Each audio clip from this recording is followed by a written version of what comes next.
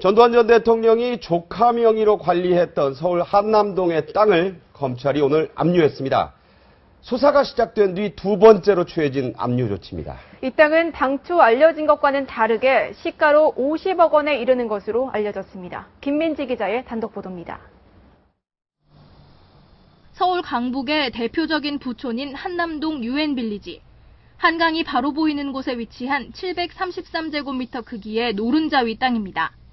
전두환 전 대통령의 비자금을 추적하고 있는 검찰이 이 땅을 압류했습니다.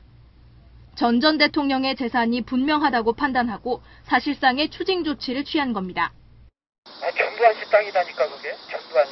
아니 나도 이제 소문만 들었는데 전두환이가 돈이 많지 않습니까? 이번 압류는 지난달 16일 연희동 자택에서 그림 두 점을 압류한 이후 두 번째입니다.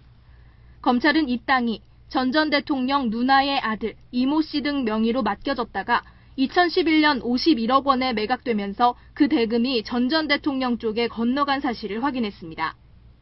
지금은 신축 공사가 진행되고 있지만 이전까지 이곳에 있던 주택은 오랫동안 비어 있었던 것으로 알려졌습니다.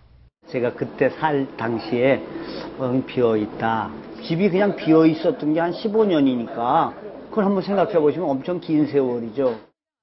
검찰이 수십억 원에 이르는 부동산을 추가 압류하면서 1672억 원에 이르는 미납 추징금 환수 작업도 본격화될 것으로 보입니다. 채널A 뉴스 김민지입니다.